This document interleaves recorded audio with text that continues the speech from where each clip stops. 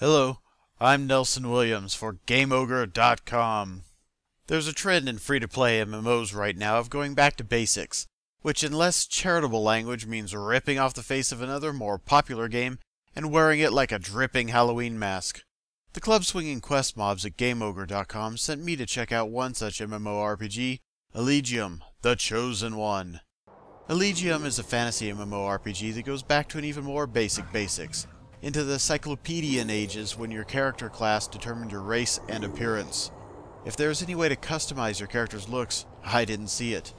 The rest of Eligium is sort of a cross between Eastern fantasy tropes and the everything else of World of Warcraft.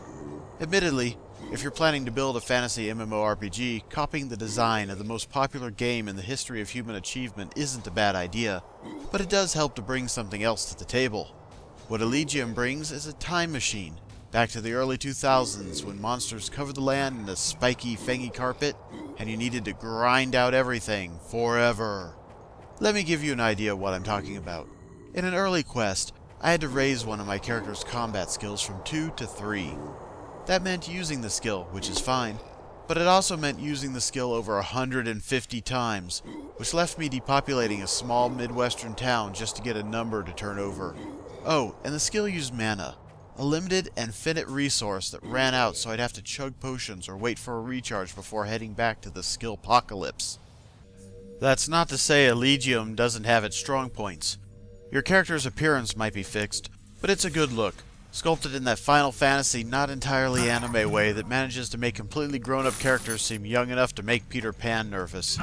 The designers threw a lot of detail into the armor and costumes of your character, including a fashion slot for fun and silly get-ups like the pirate costume you come across early in your adventures. The graphics around the world are also good, with sweeping vistas, massive stone statues, crumbling bridges, and windswept mountain passes. While cruising around, I got caught in a sandstorm which was as dark and howling as the real thing. The localization is also pretty good. While the dialogue is stiff, it's also clear and easy to understand, which is a good bit better than many import MMOs. The classes in Eligium are limited, there being the Panda Monk, the Human Warrior, the Elf Hunter, Virid Druid, Virids being a sort of green plant person, and human mages. While there aren't so many classes to choose from, they do play differently, with the mages ranged obliteration to the druid's monster pets, and back to the warriors thumpy face stomping with the most ridiculous weapons ever. Early in their careers, each class is given a choice of specialization, shaping the powers and abilities they pick up from then on. For example, the warrior class must choose between going down the ironclad tanking route or the scream and leap head bashing frenzy of the DPS tree. While you have the tools for a good fight, what you fight is something entirely else. The monsters in Eligium aren't spread out, engaged in their own little stories and lives. Instead, they're clustered together in a swarming monster party that begins the moment you set foot outside the safe zone. It's a carpet of monsters, crammed into every space, filling every crevice, and spilling out over the sides. Claws, fangs, chitinous I don't know whats poke out in every direction.